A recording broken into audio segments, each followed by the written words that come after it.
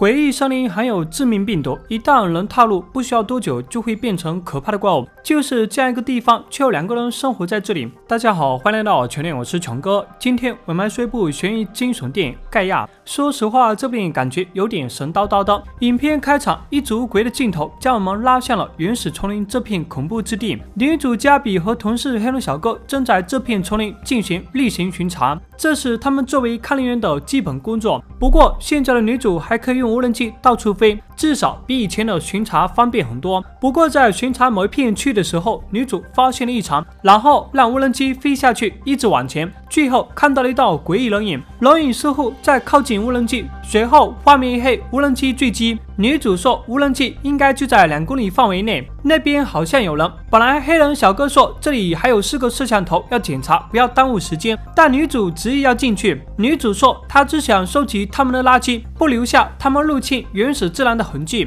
到时候在下一个山谷碰面。果然是胆子大，要是我的话，肯定不敢轻易踏入这种地方。随后两个人就分开了，女主继续寻找无人机，但走着走着似乎迷路了，这就很尴尬。不过女主似乎看到了一些奇怪的身影。另外一边，黑人小哥则在检查监控，不过在替换其中一个监控的时候，发现摄像头位置似乎被泥土给抹上了，很像是最近才做的。正当他感到疑惑的时候，听到了女主的尖叫声，他急忙跑回了床上拿对讲机，没有想到。对讲机掉到了水里。原来女主之前在行军的时候不小心迷路，然后查看地图的时候，本想联系黑人小哥，但因为对讲机没有放在身上，所以一直无人回应。最糟糕的是，他的脚还被陷阱给戳伤。那尖叫声就是女主的。现在女主真的是叫天天不应，叫地地不灵。得亏她足够干，拔掉了金翅，然后在这片恐怖的森林中行走着。更为诡异的是，之前天还好好的，瞬间就暗了下来。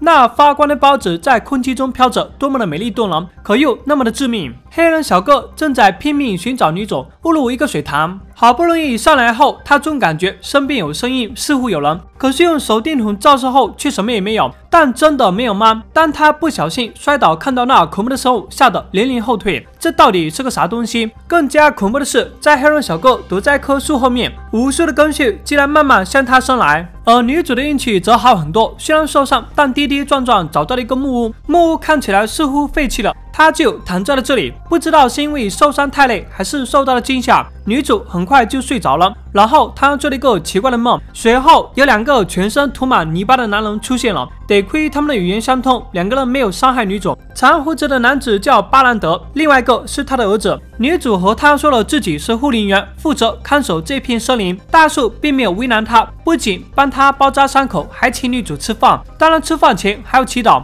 虽然这食物看起来很有营养，不过却难以下口。第二天清晨，小哥在为女主处理伤口时，对女主非常的好奇。按照他老爹说的，这小子从小就生活在这里，估计除了妈妈，没有见过其他的女人，对女性非常的好奇。不过，诡异的是，女主做梦梦到了自己的手上长出东西，她害怕的想要弄掉，结果发现只是一场噩梦。随后，女主用对讲机联系黑人小哥，没有想到那头真的传来了声响。只不过，黑人小哥的情况似乎非常的不好，话还没有说完就没声了。所以，他想要在屋子里烧火，弄出浓烟。万一黑人小哥看到，指不定就能找到这里。没有想到，这举动在大叔看来是禁忌。女主则说：“我听到了对讲机那边传来的声音。”大叔说：“我明天带你去找。”可为什么不是今天呢？显然，森林里有他忌惮的东西存在。在几人的交谈中，我们也知道了大叔的妻子去世了，好像是患了什么重病。最终，他们回到了以前他们度蜜月的地方，也就是这里。他的儿子很有可能就是在这里出生的。当然，大树也是位卢德分子，他反对现代世界以及先进的技术。他们相信森林中的神，神就在他们脚下的树根之中徘徊。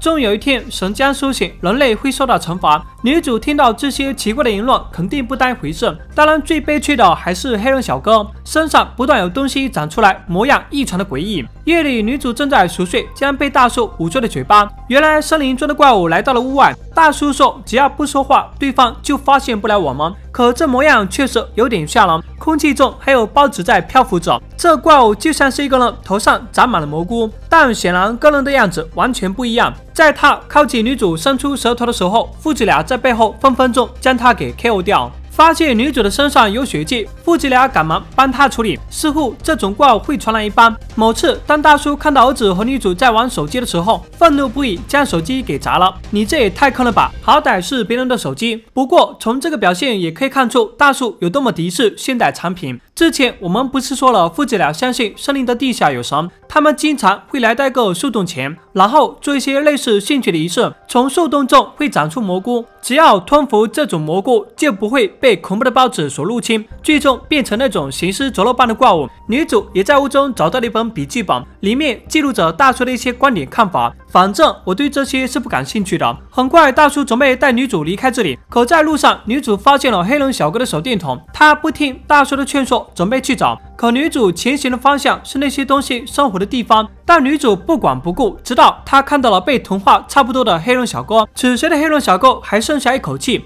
但他不想这样活下去，这样简直生不如死。如果不干掉他，最终他也会变成在森林中游荡的怪物。在干掉黑人小哥后，四周突然响起了声音，大树急忙拉着女主跑。最后又回到了屋子里，你们这还逃了个寂寞啊！比起父子俩，女主的身上开始长东西，数量越来越多，有时候甚至从耳朵里面长出来。或许是因为对女性的好奇，大叔的儿子和女主的关系比较近，有时候晚上大叔会出门，女主询问你爸爸去哪里了。原来此时的大叔正在和神沟通，希望能够得到一些指引。当然，我不知道这个神和大叔说了什么，大叔似乎很反对，但又无可奈何的样子。